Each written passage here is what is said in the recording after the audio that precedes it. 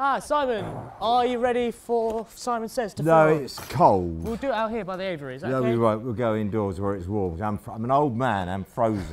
Whoa. Where are my boys? Where's my Sonny? Where's my Sky? Look, come on in. Sonny. Sonny. Come on, Sonny Bunny. Come on, Sonny Bunny. We've got to do television now. Yeah. We've got to be good boys. We just want biscuits. Yeah. Got stuff, Daddy. Welcome, wildlife fans, to episode two of Simon Says. We are in Simon's kitchen. And it's a lot warmer in here than it was walking around the garden, I can tell you that. I want to say a massive thank you to all of you guys for getting involved. We had an incredible, incredible response to our last video. So many of you commented and asked questions. It was really, really great to see, and we're all really excited about that. So hopefully this week we can answer some more.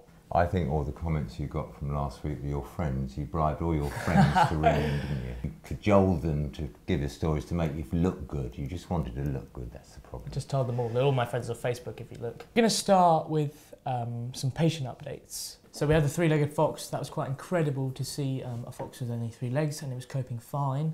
Did you see the release of that? I didn't see the release of it. Um, I've heard it went well and it went back to where it came from, so we'll know its territory. So that's another animal that's gone back out to the wild, hopefully to live as long a life as it can. Great news. Yes. And we had the cataract owl, uh, cataract, the blinding of the eye, on one in one of our tawny owls. That was quite a major event. That operation. It was. Uh, operations like that require a specialist. Um, and Claudia Hartley came down from Cambridge specially to do it. She brought her whole team down and all her kit, which is pretty impressive. Did a great op on that, and that's now recuperating. So the op was a great success, but the costs, obviously, although the surgeon gives her time for nothing, are expensive. So you actually funded that entire operation. So that owl is going to go back out to the wild because of you, and that is pretty damned amazing. So we've got so many questions that unfortunately we cannot answer everyone in this video, otherwise it'd be about four hours long. So I've got a list here of some of the most popular questions we asked. And we'll start with the first. We had from Slarty Barfart, Star Panicu, Slarty Barfart, Yeah, let's let let's pass over that quickly. Uh, okay, I okay. think that's yes. Star Panicu, Amber Eye, Pretty in Pink have all asked, what's the most extraordinary or weird or kind of unique animal you've ever rescued? I suppose one of the most dangerous rescues we've we've ever done was with Sean last year when there was a deer down a 10 foot gap, very narrow gap. We had no means of getting to it um, and we had to be very ingenious on how we did it. And it, in the end, we did it with a lasso type system, but we had one chance. If that animal had fallen out of that or something had gone wrong, it would have been a disaster. Stuart B, Ingeborg and Radvag, Snooker48, Debbie Ann Marsden, and Donovan Pareja have all asked, um, what made you set up this charity? What made you go from caring about animals to wanting to really do something to save them? Cutting a very long story short, always wanted to be a vet, far too thick, academically challenged.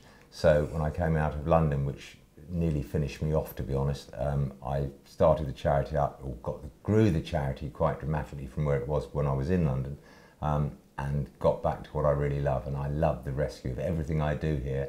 My raison d'etre is to be able to rescue an animal that would probably die if we didn't, get it better, and get it back out to the wild. And that just fuels me every single minute of every day. Freya Davison asks, what's the best way you can make your garden safe for wildlife? All I would say, and it might sound very off the wall, is to think you're an animal. What hazards could you come up against? What could go wrong? What could happen? So if you walk around your garden thinking you're an animal, just think carefully. Do you want a fence where an animal could get its head stuck in? Do you want a fence that goes down in a V, which causes massive problems for animals because they get their neck stuck in them? Chain link fences are bad news. There's so many things, but just think like an animal. Um, that's probably why I work so well, because I think like an animal. Which animal? An elephant? Depends what mood I'm in. It's shout out time. I know it's your favourite time, but you want to shout out all the people that deserve a thank you from our contributors and comments and fans. So, Simon, have you got the list? I've got the list, but I really wish you briefed me in this because I can never pronounce these names. I think everybody should ring in and tell us how to spell their names. So apologies, as always, for my mispronunciation. And also a lot of it's to do with Elliot's writing, which isn't the best writing in the book. So we've got the official Ali is number one. Thank you. Manny Calavera. Thank you. Barbara Tashudi, thank you. Fox Play Games, I can pronounce that one. Easy. Tian and Gavin, thank you. And Thomas Payne, thank you. So lots of thank yous, some of which I could pronounce, some of which I couldn't. So thanks for watching. This has been the second Simon Says. Thank you for all your questions, all your comments. It's amazing, amazing to hear from you. Um, we're going to do this uh, next month. If you'd like to see it more often, maybe let us know in the comment box.